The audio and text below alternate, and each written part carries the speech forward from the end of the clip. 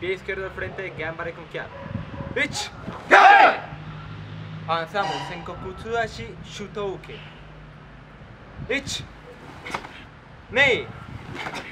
San con Kia. Retrocede. Ich. Nei. San.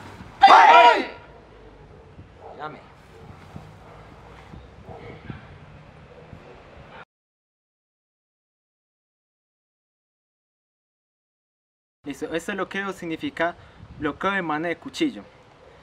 Entonces, este bloqueo puede proteger la zona Chudan o la zona Yodan. Cuando uno lo ve en aplicación de katas, ven que lo aplican de ambas maneras. Las dos están correctas.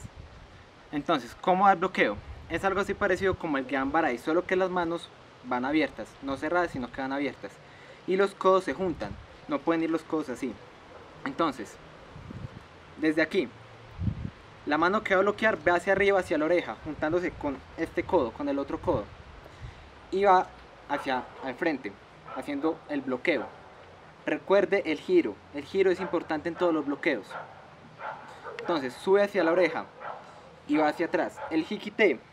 El hikite no va aquí como en, como en los, demás, en los demás bloqueos, sino que va aquí en el plexo solar.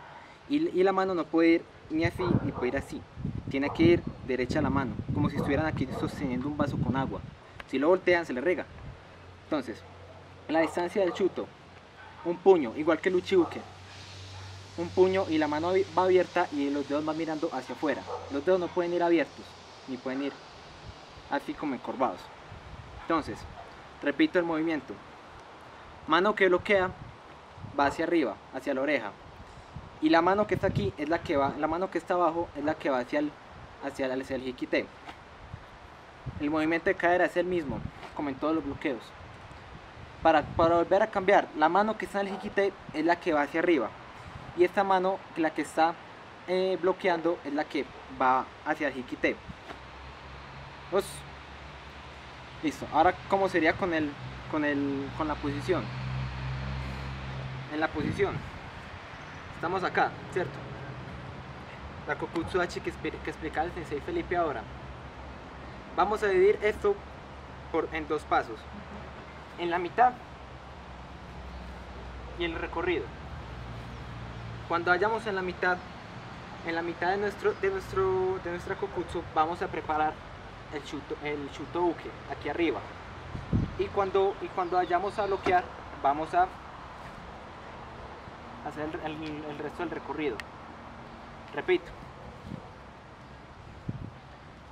Cuando vamos a la mitad del paso, la mano que está en el jiquite sube a la oreja y se juntan los codos.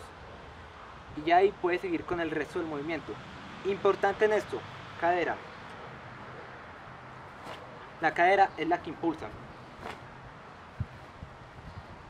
Si no se hace con la cadera, el bloqueo no es tan efectivo. Si se hace con la cadera, ayuda a que haya un mejor, una mejor efectividad.